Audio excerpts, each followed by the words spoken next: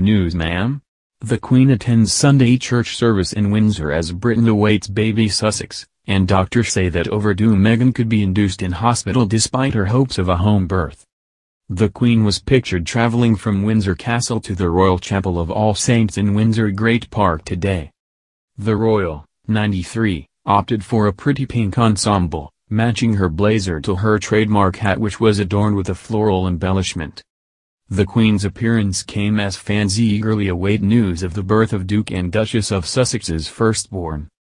According to reports it was always the Duchess of Sussex's fervent wish to give birth naturally in the calm surroundings of her secluded Windsor home, Frogmore Cottage, pictured. But now a week overdue and with no sign of baby Sussex's arrival, the 37-year-old Duchess was last night facing the disappointing prospect of induced labor and a hospital birth.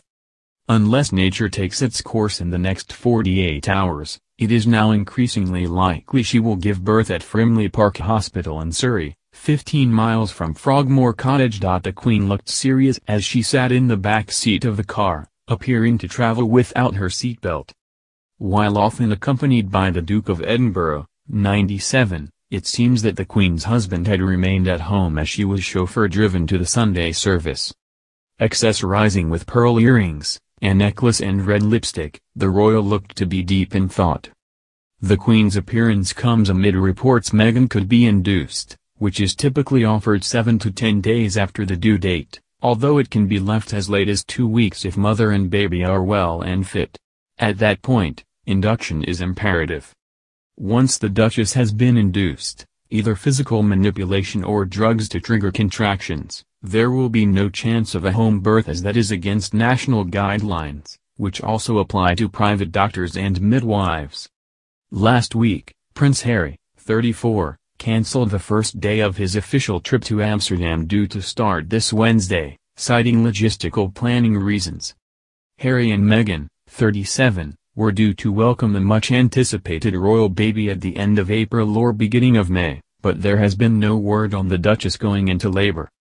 At Frogmore Cottage, the Duchess, who is with Prince Harry and her mother Doria, was said to be comfortable and happy in getting plenty of fresh air in the garden.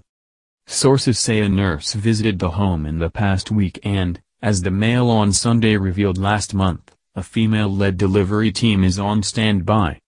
Royal fans spent another day yesterday waiting patiently for news, but none was forthcoming, leaving a vacuum for social media gossip to go into overdrive with some even speculating the baby had already been born.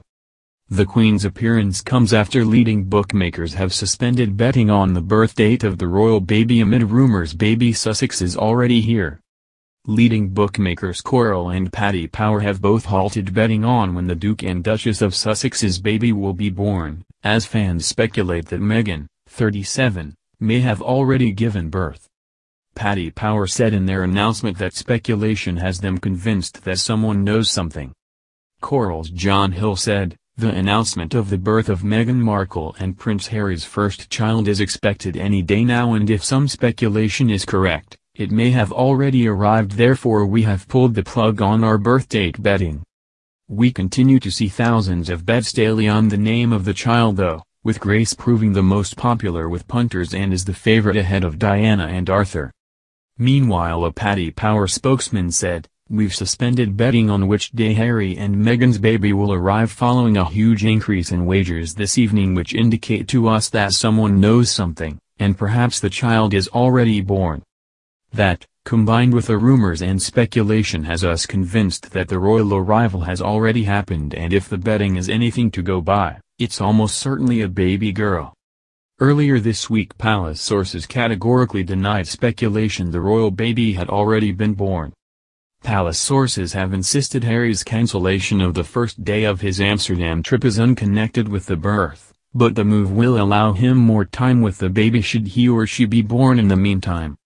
A spokesman for the Duke said, due to the logistical planning for the traveling press to cover visits and engagements by the royal family, we have taken the decision to postpone the Duke of Sussex's scheduled visit to Amsterdam on Wednesday 8 May 2019.